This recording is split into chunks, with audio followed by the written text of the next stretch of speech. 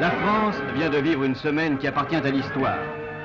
Les événements d'Algérie avaient donné le signal d'une crise dramatique, mais peut-être en même temps d'un immense espoir. En effet, on l'avait vu à Oran comme à Alger, un extraordinaire revirement populaire avait suivi la prise de position de l'Algérie.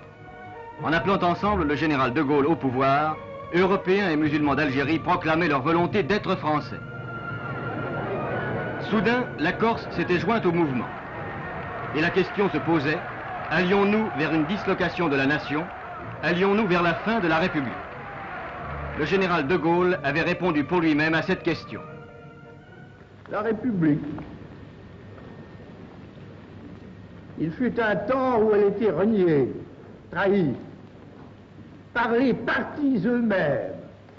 Et moi, j'ai redressé ses armes, ses lois, son nom.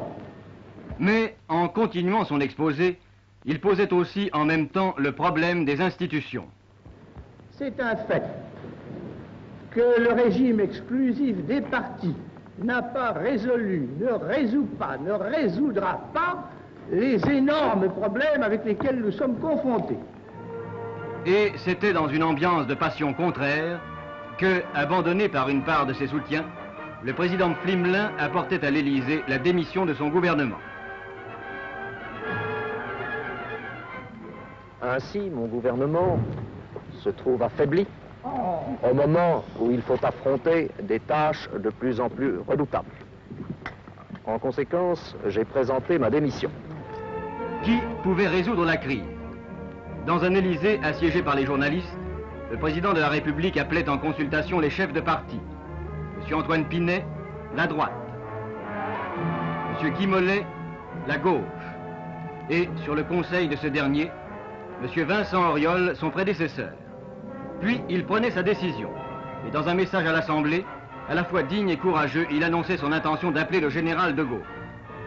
Du même coup, Colombay, les deux églises, village hier sans histoire, devenait le centre de l'attention. Et la boisserie, où depuis 12 ans s'était retiré le général, était assiégée par une nuée de reporters. Téléphone et radio n'arrêtaient plus. Et ce soir-là, au terme d'une série de démarches, de discussions, de questions, de réponses et d'explications, Colombet apprit que le général était appelé à former le gouvernement.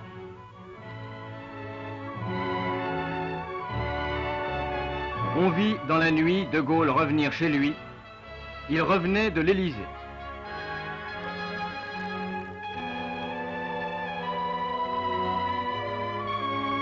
Tous les jours, cependant, Alger vivait sur le forum des heures passionnées. Ce jour-là, six shérifs, hier chefs d'une bande de félagas, aujourd'hui ralliés, lançaient devant une foule un appel aux rebelles. D'elle-même, disait-il, la population algérienne s'est proclamée française. L'élan qui avait réalisé l'unité de deux races, que certains pouvaient juger irréconciliable, serait-il confirmé? Question qui s'ajoutait à d'autres, car des voix s'élevaient contre l'idée d'un gouvernement de Gaulle et de la nation à la République. Ils étaient 200 000 derrière leur chef politique, à clamer leur défiance de tous les fascismes et leur attachement aux lois de la République.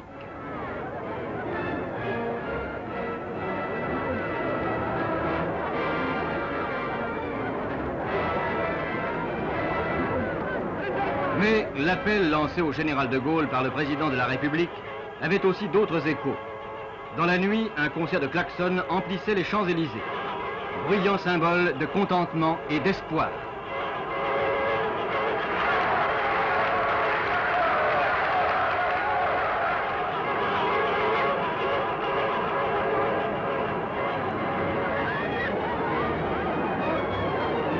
Et s'il y eut des manifestations devant l'Assemblée, on peut dire qu'elles furent empreintes d'une certaine bonhomie.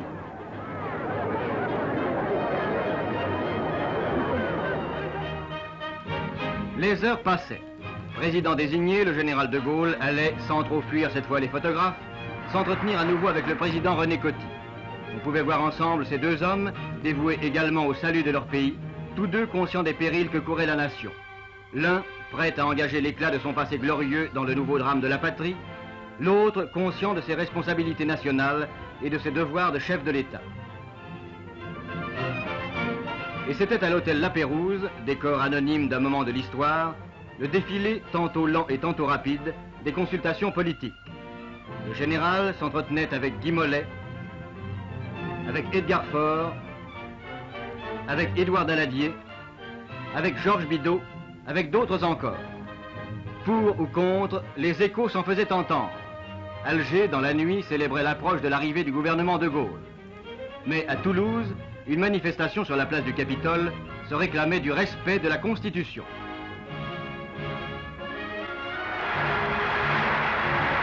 Pendant qu'à Bordeaux, un concert de klaxon à l'instar de celui de Paris, succédaient des accrochages entre partisans et adversaires.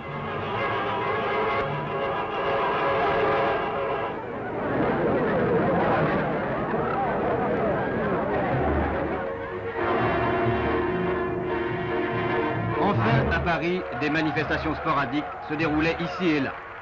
Ce dimanche, aux Champs-Élysées, des cortèges d'étudiants se succédèrent à l'étoile. C'était le moment où l'Assemblée nationale vivait une heure que peut-être l'histoire inscrira en tête d'un chapitre. Peu de manquants. Au banc du gouvernement, un homme seul s'assied, le général de Gaulle. Tout à l'heure, il montera à la tribune pour lire sa déclaration.